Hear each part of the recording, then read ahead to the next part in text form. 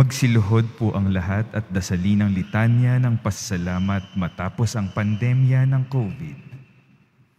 Dumulog tayo sa Panginoon na siyang nagpapanibago ng lahat para sa lahat ng biyaya at pagpapalang tinanggap natin habang panahon ng pandemya ng COVID. Sa bawat panalangin ang ating itutugon.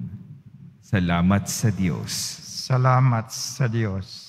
Para sa pagpapaalala sa atin ng kawalang katiyakan ng buhay, sa pagsasanggalang sa atin noong mga panahong walang nais magpatuloy sa atin, at sa pagtuturo sa atin ng mga bagay na tunay na mahalaga, magpasalamat tayo sa Panginoon Salamat sa Diyos. para sa pagkakataong tayo ay nagkaisa sa pananampalataya at pagmamahalan. Sa kabila ng pagkakalayo-layo na ipinataw sa atin ng karamdaman, magpasalamat tayo sa Panginoon Salamat sa Diyos. para sa mga bayaning bukas palad na nag-abot sa atin ng tulong pang-agham, panlipunan at pang-espiritual sa kabila ng panganib na maaaring dulot nito sa kanilang buhay. Magpasalamat tayo sa Panginoon Salamat sa Diyos. para sa biyaya ng mga bagong tuklas na gamot at bakunang pamuksa sa virus at para sa biyaya ng likas na immunity laban sa sakit. Magpasalamat tayo sa Panginoon Salamat sa Diyos. para sa biyaya ng presensya. Noong panahong tayo'y nangangamba at nababalisa, nalulumbay at naiinip, sa gitna ng pandemya, magpasalamat tayo sa Panginoon. Salamat sa Diyos. Manalangin tayo. Ama naming mapagmahal, hindi lingid sa iyong kaalaman ang laman ng aming isipan. Bawat patak ng aming luha ay iyong pinahahalagahan. Nababatid mo ang lahat ng aming kagalakan. Nakipanahan ka sa mundo naming batbat ng sakit, dusa at kamatayan. At ang mga takot na kinaharap namin ay iyong nauunawaan. Tanggapin mo ang aming pasasalamat sa iyong mapagpalang pag-ibig sa kasagsagan ng pandemya ng COVID. Katulad noong pagtangis mo sa kamatayan ni Lazaro, dulutan mo ng buhay na walang hanggan ang mga pumanaw dahil sa coronavirus. Ang aming mga pangamba ay hanggan ang mga Panilatan mo ng ligaya, kaya't nag-uumapaw ang aming puso sa pagpupuri at pasasalamat sa iyo. Sa iyo ang lahat ng kadakilaan, ngayon at magpasawalang hanggan. Amen. Maria, saklolo ng mga Kristiyano, Ipanalangin mo kami. San Miguel Arcangel, Ipanalangin mo kami. San Roque, Ipanalangin mo kami.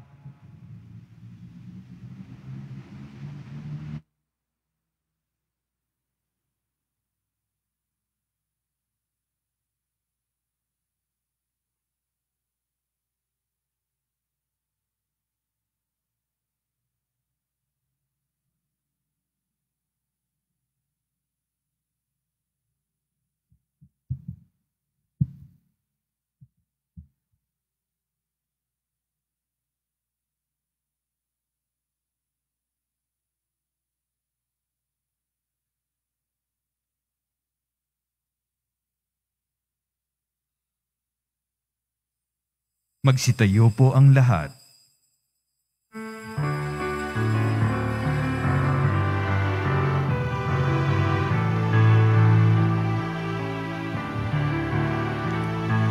Magpuri kayo sa Panginoong Diyos, lahat ng san tinakpan.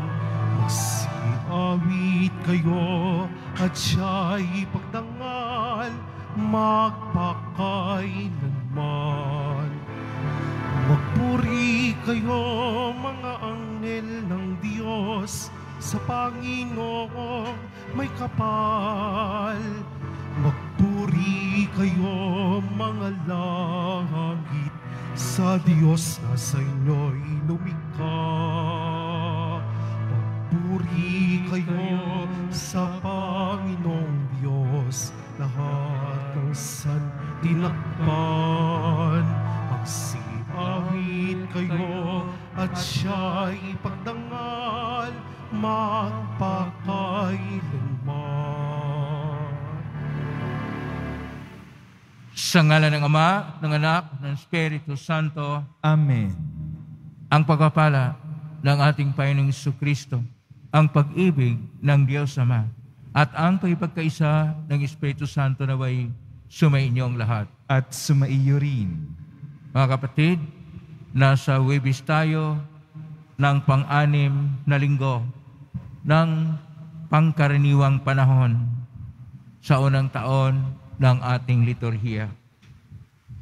Isama po natin sa misa natin ngayon ang inyong mga intensyon kayong narito sa loob at sa labas ng Basilica Minor ng Itim na Nazareno ng Quiapo.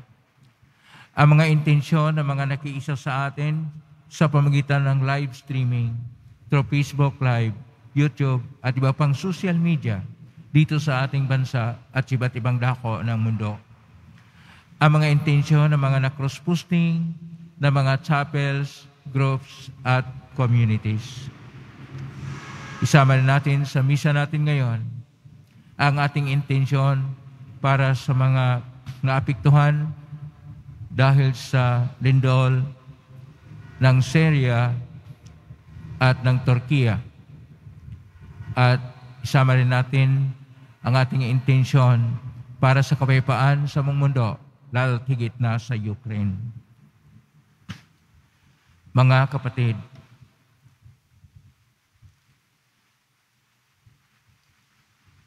tayo ay tinatawag ng ating Panginoong Diyos na ating tanggapin ang Mesiyas na noon pa man sa lumang tipan ay pinapahayag na. At ngayon sa ating Ebanghelyo, nagpahayag San Pedro ng ating Panginoong Hesus Nazareno ay siyang Mesiyas, ang hinirang ng Diyos upang magligtas sa lahat. Ngunit sa mga sandali na tayo ay hindi tumatanggap sa Kanya ng tunay, o dili kaya hindi nabubuhay ayon sa kanyang mga turo at ng kanyang mga salita. At dahil sa ating mga pagkukulang tayo nagkasala. Dumulog po tayo sa maing Panginoong nagpapatawad ng lubos. Sinugong tagapagpagaling sa mga nagsisisi, Panginoon, kaawaan mo kami. Panginoon, kaawaan mo kami. Dumating na tagapag-anyayang mga makasalanan ay magsisi, Kristo, kaawaan mo kami. Kristo, kaawaan mo kami. Nakaloklok ka sa kanan ng Diyos Ama para ipamagitan kami. Panginoon, kaawaan mo kami. Panginoon, kaawaan mo kami. Kaawaan tayo ng makapangyarihang Diyos. Patawarin tayo sa ating mga kasalanan at patnubayin tayo sa buhay na walang hanggan. Amen. Manalangin tayo. Ama naming makapangyarihan, pinangatawanan mong manahan sa mga may ubing tapat at maaasahan. Sa kanang loob mo, kami naway makapamuhay bilang mga mapalad na maging iyong tahanan. Sa pangitan ni So Kristo kasama ng Espiritu Santo, magpa sa walang hanggan. Amen. Magsiupo muna ang lahat.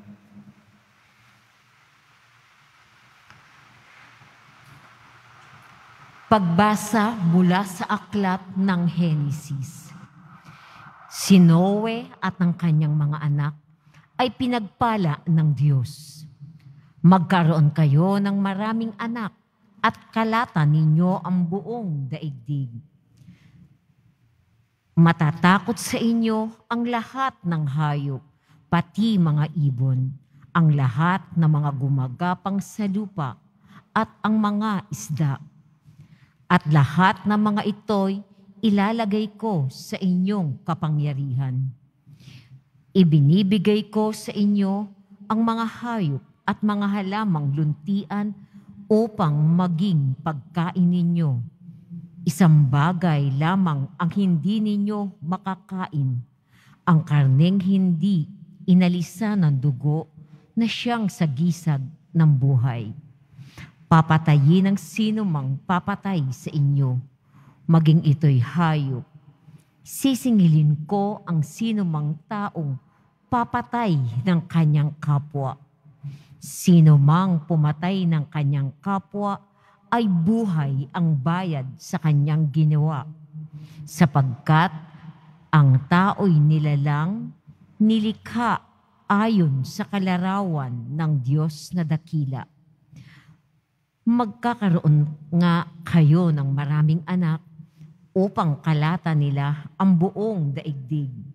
Sinabi ng Diyos kay Noe at sa kanyang mga anak, Ako'y nakikipagtipan sa inyo ngayon, pati na ang inyong magiging mga anak, gayon din ang lahat ng mga bagay na may buhay sa paligid ninyo.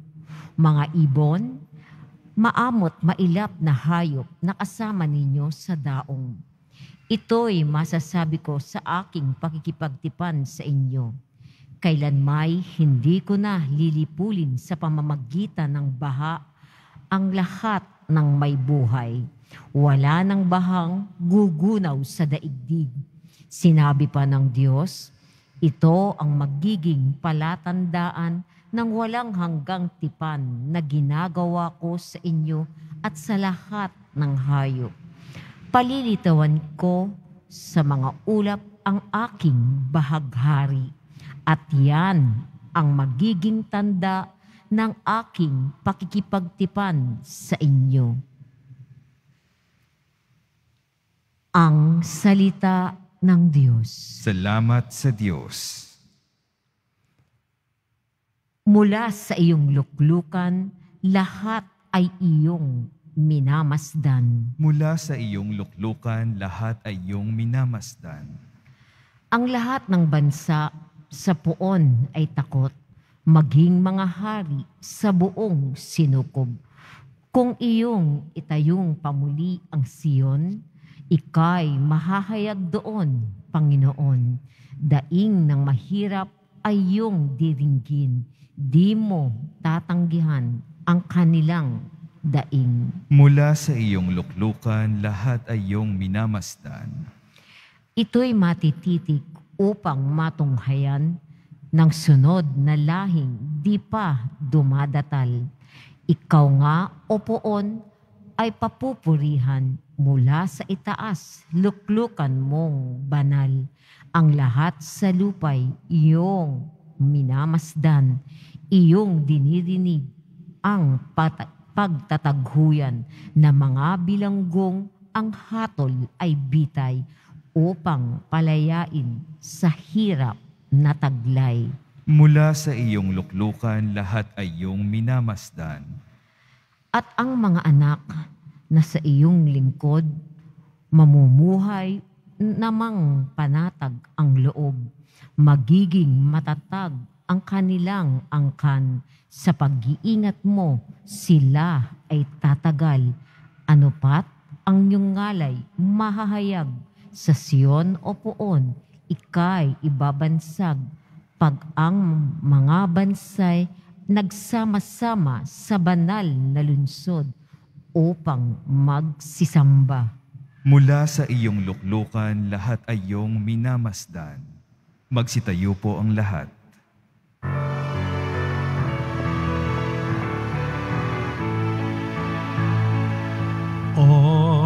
Hallelujah. Oh, hallelujah.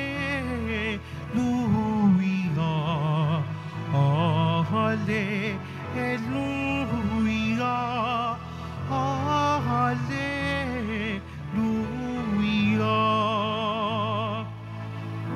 Espiritong bumubuhay, ang salita mo may kapal, buhay mo ang tinataglay.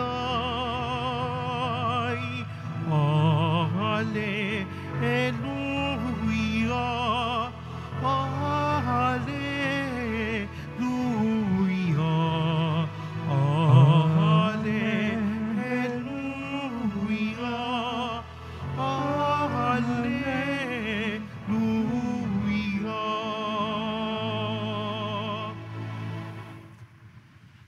Sumainyo ang Panginoon. At sumaiyo rin.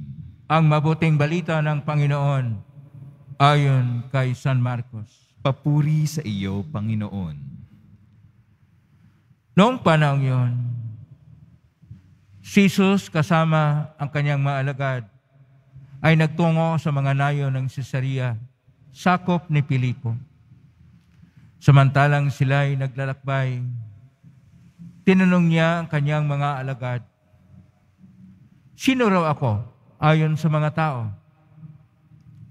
Sumagot sila, ang sabi ng ilan ay si Juan Bautista kayo, sabi naman ng iba, si Elias kayo, at may nagsasabi pang isa kayo sa mga propita. Kayo naman, ano ang sabi ninyo? Sino ako? Tanong niya. Kayo ang Kristo, tugon ni Pedro. Huwag ninyong sasabihin kanino man kung sino ako. Mahigpit na utos niya sa kanila.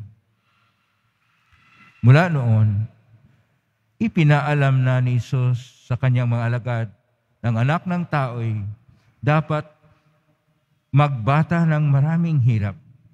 Siya'y itatakwil ng matatanda ng bayan, ng mga punong sa sirdote at mga iskriba at ipapatay. Ngunit sa ikatlong araw, muli siyang mabubuhay. Maliwanag na sinabi niya ito sa kanila. Kaya't niyaya siya ni Pedro sa isang tabi at sinimulang pagsabihan.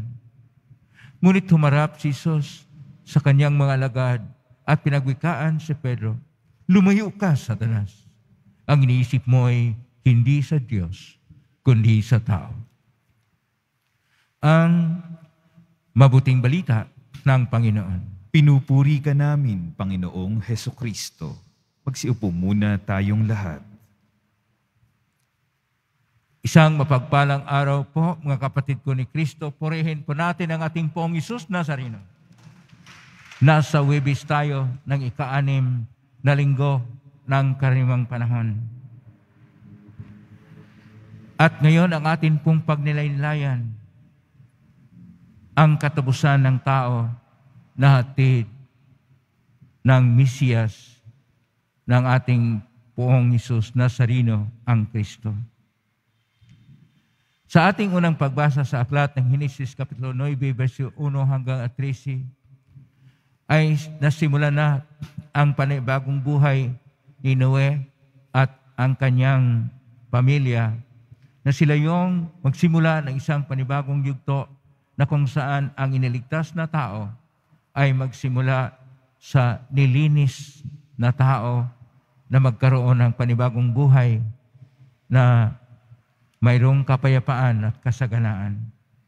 Sapagkat siya sila na pinili ng Diyos ay maghatid ng panibagong sibol at bagong yugto ng kasaysayan na ang Diyos ay nagligtas sa kanila.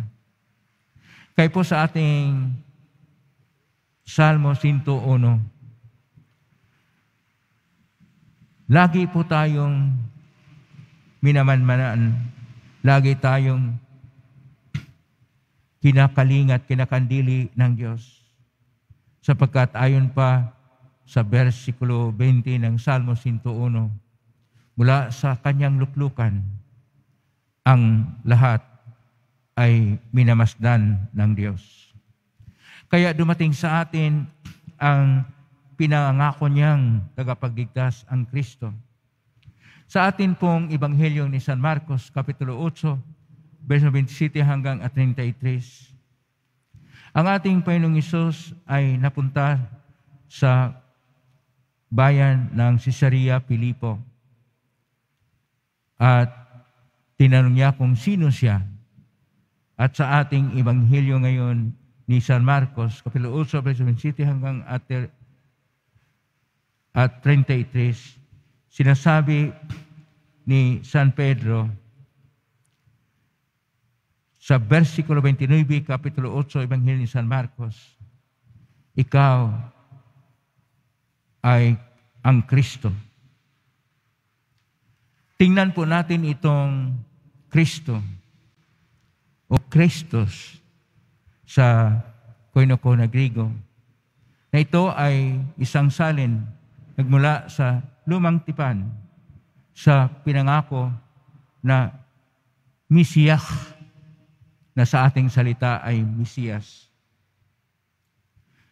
Ang salitang Kristos ay makikita po natin sa bagong tipan ng limang daan at dal- dalawamput siyam, 529 kabisi sa New Testament na ang pinakamarami nito ay sa sulat ni San Pablo na mayroong 379 samantala kay sa Ebanghelyo ni San Juan ay labing siyam lang na bisis at 17 lang sa kay San Mateo at 12 kay Lucas at sa Ebanghelyo ni San Marcos ay pito lang. Pero wala po ito sa pangatlong sulat ni San Juan. Kailangang tingnan natin ito sa konteksto ng kasaysayan, sa konteksto ng geografiya, sa konteksto ng socio-cultural at higit sa lahat sa pangrelihiyon na pagtingin. Una, ang historical na konteksto po dito, ang mga tao matapos noong nagkaroon sila ng mamahala ng mga hukom, ay nagkaroon sila ng monarkiya. At sa monarkiya ni Saulo, hindi gaanong maganda, pero sa panahon ni Haring David at ni Solomon, nagkaroon ng golden age o era ng kanilang pag-uunlad at ng kanilang kapayapaan sapagkat naugnay ang labing dalawa na tribo na maging isang bansa at dahil dito nagkaroon ng kasaganaan. Pero pagkatapos nito ay nahati sa bayan ng Israel sa norte at sa Hudiya sa ibaba na kung saan sinakop sila ng iba't ibang mga makapangyarihan gaya ng mga Assyrians, Babylonians, Persians, Grego at sa panahon ng ating Panginoon sa dambuhalang imperyo ng mga Romano. At dahil dito, ang kanilang pagnanais ayon pa sa kasaysayan ng isang Kristo, siya ang tagapagligtas na isang magahari na isang bayani. Kaya pinagsabihan siya ni Pedro, nagalit naman ang ating Panginoon sapagkat tinuturing ngayon na siya ay kalaban dahil ang kalooban ng Diyos ay magkaroon ng panibagong paningin ng tinatawag na Kristo. Kristo ayon sa pagtingin na iba dahil ang Kristo ay isang Kristo na naghihirap at dahil doon kinakailangan ang ang pagtingin nito na siya ay Panginoon na tagapagligtas. Kaya kung atin pong tingnan, ang, ang ating konteksto ay nagkaroon din ng isang panibagong susukultural na konteksto. Na at lahat ng tao gusto nilang ibalik sa kasaganaan at kapayapaan ng Israel. Kailangan nila ang isang Mesiah o sa salitang Grego ay Kristos, ibig sabihin, nabigyan ng langis at hinirang. At dahil dito, hindi katanggap-tanggap nila ng ating Panginoon ay magkaroon ng paghihirap. Dahil maikumpara natin halimbawa sa isang basketball team na napakaganda ang laro. Tapos mayroong isa na napakagandang player. At siya ay magkaroon ng physical injury, ay di hindi na manalo. Parang ganon ang pagtingin nila sa isang Kristo, na kung saan siya yung tagapagligtas, pagkatapos siya pala ay huliin ng mga iskriba at papatayin. Hindi po katanggap-tanggap sa ganyang pamaraan. Kaya tinuturo ng ating Panginoon na siya ay mabuhay muli. Isang panibagong buhay na kung saan ipapahayag na ang Kristo ay siya yung magtupad sa sinasabi ni Propeta Isaias, Kapitulo 61, verso 1 hanggang 2, na siya yung magpahayag ng isang mabuting balita para sa mga dukha at mga mahirap. At dahil dito, siya ay magbigay ng pag-asa sapagkat sa panahon ng okupasyon ng Roman Empire, ang mga dukha at mga mahirap, gaya sa ating panahon ngayon, ay siyang nakaranas ng kahirapan. At siya ay maghatid ng panibagong paningin sa mga bulag upang yung mga bulag physically ay makakita na at yung mga psy- psychological at social na mga bulag, ibig sabihin yung nagbulag-bulagan lang, ay makakita ng katotohanan na totoong kalagayan at sila kikilos at magkaisa upang kanilang buklurin ang panibagong bayan. At ang mga pilay ay makalakad na.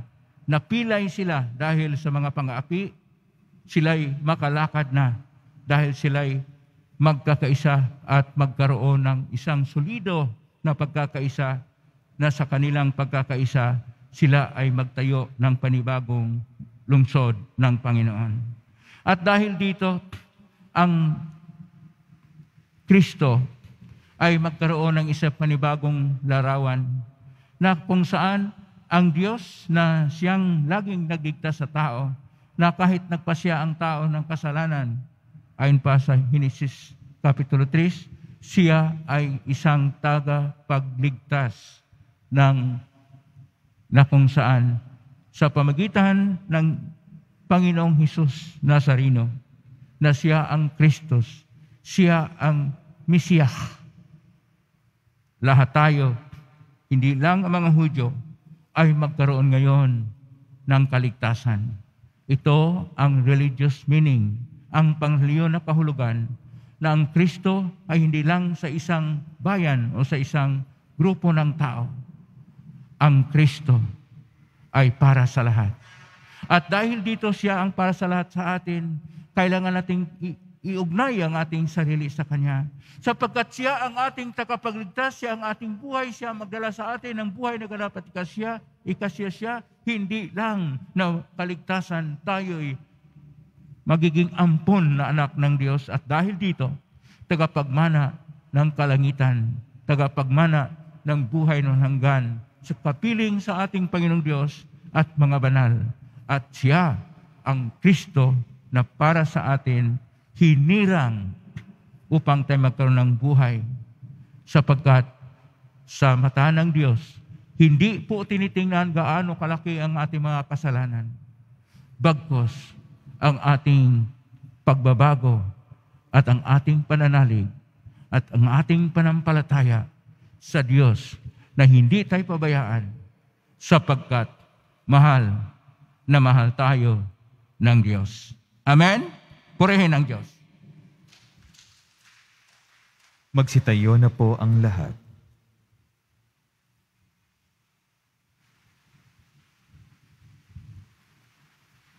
Minamahal ko ang kapatid sa ating pagtitipon upang ipagdiriwang ang misteryo ng ating kaligtasan.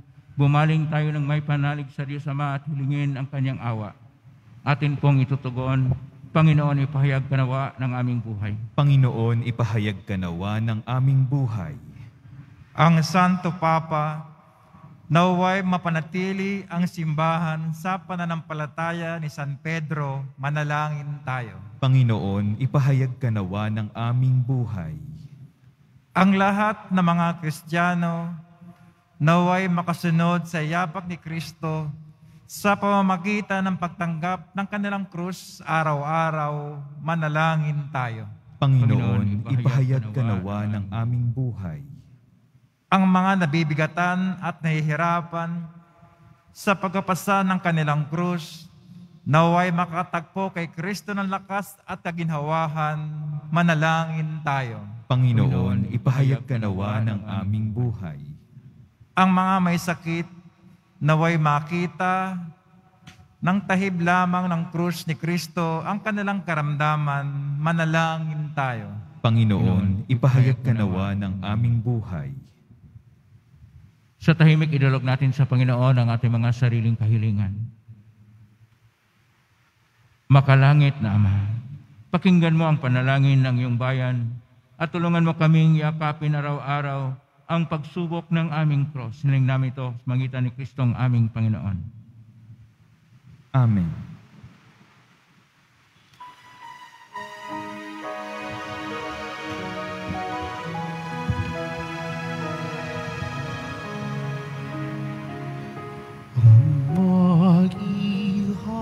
handog sa iyo, Panginoon, ay tinapay at talak mula sa aming kamay.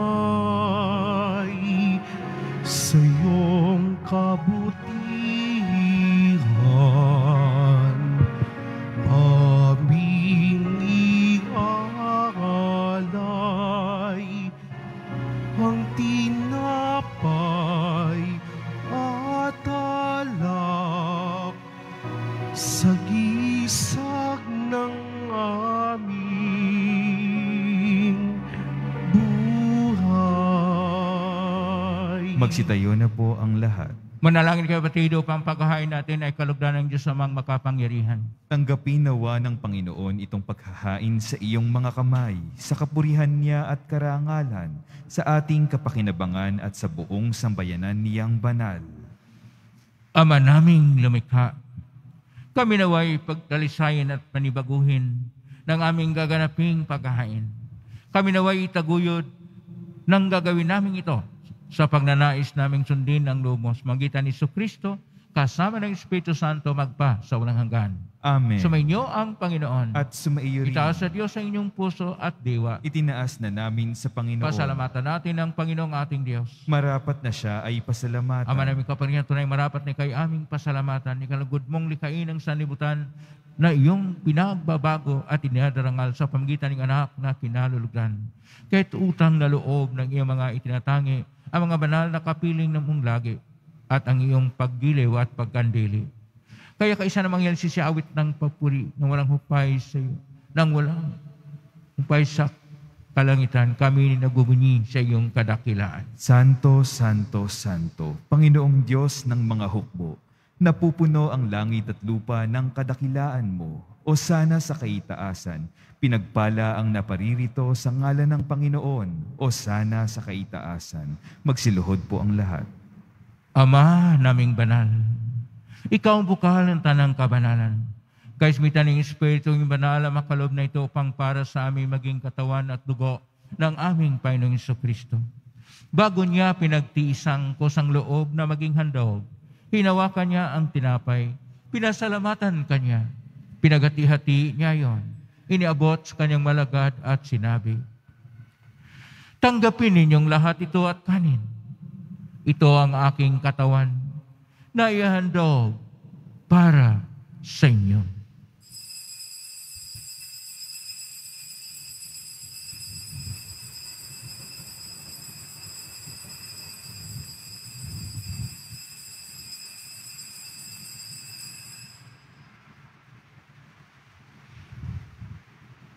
Kainin naman nung matapos ang hapunan, hinawakan niya ang kalis. Muli kanyang pinasalamatan. Inabot niya ang kalis sa kanyang malagad at sinabi, Tanggapin ninyong lahat ito at inumin. Ito ang kalis ng aking dugo ng bago at hanggang tipan. Ang aking dugo na ibubuhos para sa inyo at para sa lahat sa kapagpapatawad ng mga kasalanan. Gawin niyo ito sa pag-alala sa akin.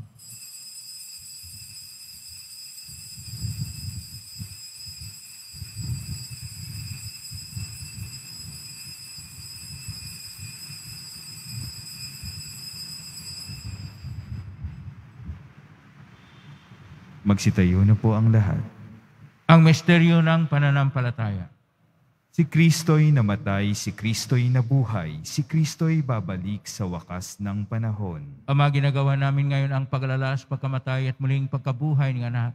Kahit iniaalay namin sa iyo ang tinapay na nagbibigay buhay at ang kalis na nagkakaloob ng kaligtasan. Kami nagpapasalamat dahil kami narapat na tumayo sa harap mo para maglingkod sa iyo. Isinasamo namin kami magsasalo-salo sa katawan at dugo ni Kristo ay mabuklod sa pagkaisa sa pamagitan ng Espiritu Santo. Ama, lingapin simbahang laganap sa buong daigdig. Pususin mo kami sa pag-ibig kaisa ni Francisco na aming Papa at niyusin na aming Obispo at ng Tanang Kaparihan. Alalahanin mo rin mga kapatid naming nahimlay may pag-asang sila muling mabuhay ganin lahat ng mga pumanaw. Kaawaan mo sila at patuloyin sa iyong kaliwanagan. Kawano'y napatin kaming lahat na makasalo siyang buhay na walang wakas. Kaisa na Malabirhin Maria na Ina ng Diyos, ng kabiyak ng puso niyang San Jose. Kaisa mga apostol ni San Juan Bautista, ni San Roque, ni San Lorenzo Reyes de Manila, ni San Pedro Calungsod, at ng lahat ng mga banal na namuhay dito sa daigdig ng kalugod-ugod sa iyo. May pagdiwang nawa namin ang pagpupuri sa karangal mo sa pangitan ng anak na aming Panginoong Heso Kristo. Sa pamamagitan ni Kristo,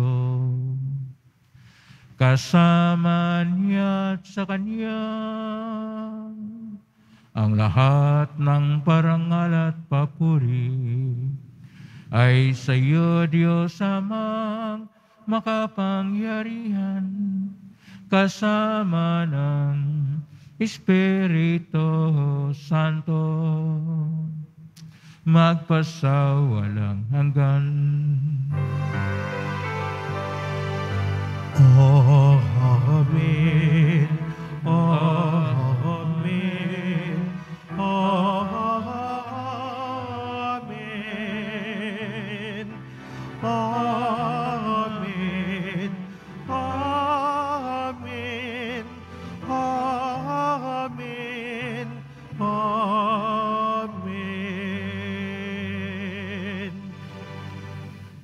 Sa tagubilin ng galing na utos, sa turo ni Jesus na po natin at Diyos, ipahayag natin ng lakas loob.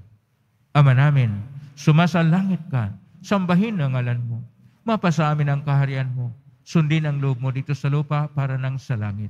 Bigyan mo kami ng aming kakanin sa araw-araw at patawarin mo kami sa aming mga sala para nang papatawad namin sa nagkakasala sa amin at huwag mo kaming ipahintulot sa tukso at iadya mo kami sa lahat ng masama. Niling namin kami adya sa lahat ng masama. Pagkalubahan ng kapayapaan araw-araw, iligtas sa kasalanan at ilay sa lahat ng kapahamakan, samantalang aming pinanabikan ang dakilang araw ng pagpapahayag ng tagapagligtas naming si Iso Kristo. Sapagkat iyo ang kaharian at ang kapangyarihan at ang kapurihan magpakailanman. Panginoong Iso Kristo, sinabi mo sa mga apostol, kapayapaan ang iniiwan ko sa inyo, ang aking kapayapaan binibigay ko sa inyo. Tunghayin mo ang aming panampalataya at huwag ang aming pagkakasala. Pagkalooban mo kami ng kapayapaan at pakakaisayin siyang kalooban, kasama ng Espiritu Santo, magpa sa walang hanggan. Amen. Ang kapayapaan ng Panginoon ay laging sumainyo. At sumaiyo rin. Magbigay kayo ng kapayapaan sa isa't isa. Kapayapaan sa Kordero ng Diyos na nag-aalis ng mga kasalanan ng sanlibutan, maawa ka sa amin. Kordero ng Diyos na nag-aalis ng mga kasalanan ng sanlibutan, maawa ka sa amin. Kordero ng Diyos na nag-aalis ng mga kasalanan ng sanlibutan, ipagkaloob mo sa amin ang kapayapaan, magsiluhod po ang lahat. Ito ang kordero ng Diyos. Ito ang nag-aalis na makasalanan ng sanlibutan. Mapalad ang mga inaanyayahan sa piging ng kordero. Panginoon, hindi ako karapat-dapat na magpatuloy sa iyo, ngunit sa isang salita mo lamang ay gagaling na ako. Katawan ni Kristo. Amen.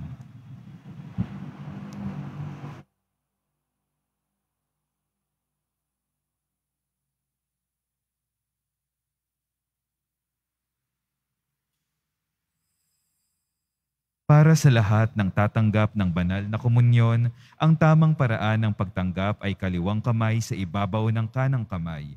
At sasagot po tayo ng amen pagkasabi ng pari o ng lay minister ng katawan ni Kristo. Isubo sa bibig bago umalis sa harapan ng pari o lay minister. Sumunod po tayo. Maraming salamat po.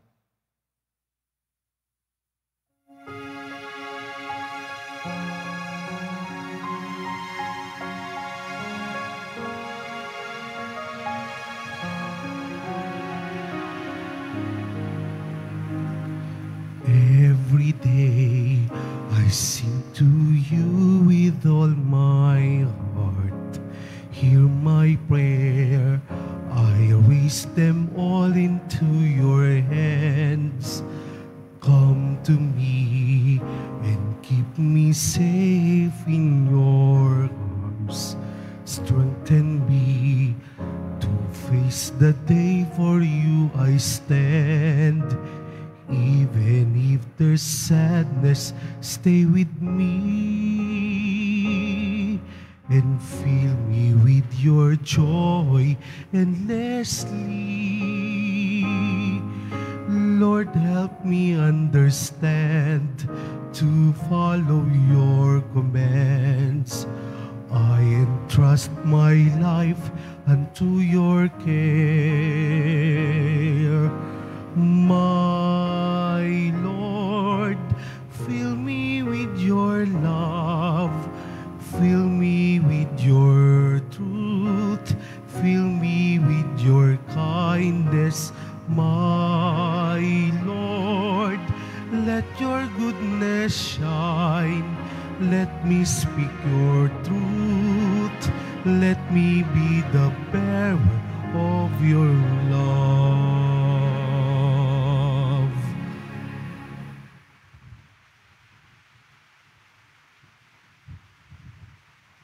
Pinaalalahanan ng lahat na huwag maging kampante sa banta ng COVID-19. Bagkos dapat nating ipagpatuloy ang tamang pagsunod sa minimum public health standards sa ilalim ng Alert Level 1. Sa oras na makaramdam ng sintomas, agad na mag-isolate para sa dagdag na proteksyon laban sa banta ng COVID-19, agad-agaran na tayong magpabakuna at booster. Pagkatapos ng misa, wiwisikan po ang lahat ng banal na tubig. Pinakikiusapan ng lahat na manatili lamang muna sa inyong mga lugar o kinauupuan. Pagkatapos ng pagwiwisik, mangyari lamang na maupo muna ang lahat ng nasa loob ng simbahan at hintaying banggitin ng grupo ng inyong inuupuan bago po kayo lumabas ng simbahan. Tanging sa Quezon Boulevard lamang ang labasan ng lahat. Sumunod po tayo. Maraming salamat po sa inyong pagdalaw at pagsisimba sa Basilica Menor ng Itim na Nazareno. Magsitayo po tayo. Manalangin tayo. Ama naming mapagmahal, kaming pinapagsalo mo sa banal na pakikinabang, ay gawin mong laging manabik na pagsaluhan ang kalubong ito sa aming ikabubuhay. Sa pamagitan ni Kristo kasama ng Espiritu Santo, magpa sa walang hanggan. Amen.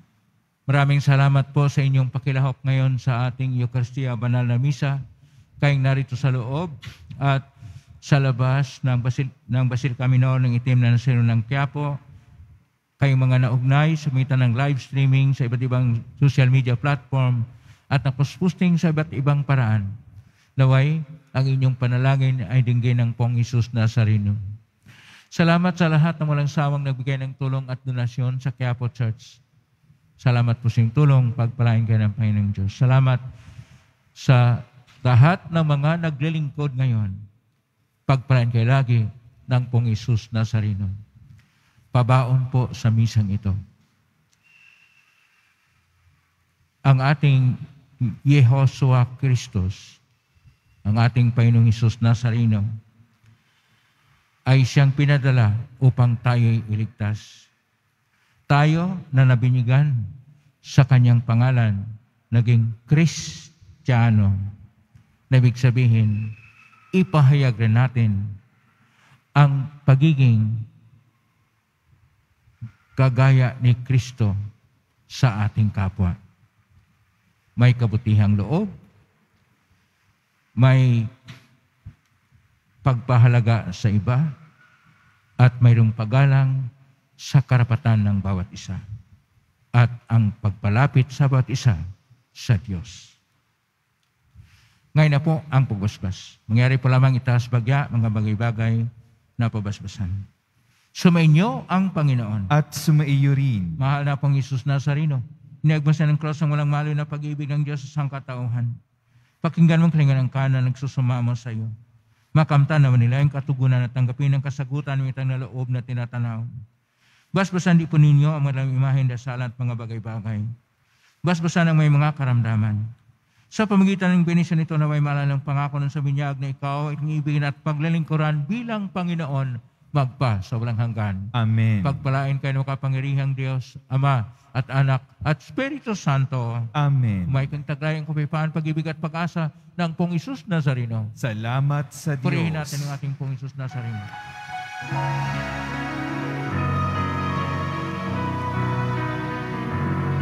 Nuestro Padre Jesus Nazareno, sinasamba ka namin. Pinipintuho ka namin. Aral mo ang aming buhay at kaligtasan. Nuestro Padre Jesus Nazareno, iligtas mo kami sa kasalanan. Ang krus mong kinamatayan ay sagisag ng aming kaligtasan. Nuestro Padre Jesus Nazareno, dinarangal ka namin. Nuestro Padre Jesus Nazareno, niluluwalhati ka namin. Nuestro Padre Jesus Nazareno, dinarangal namin. Nuestro Padre Jesus Nazareno, nilulwalhati ka.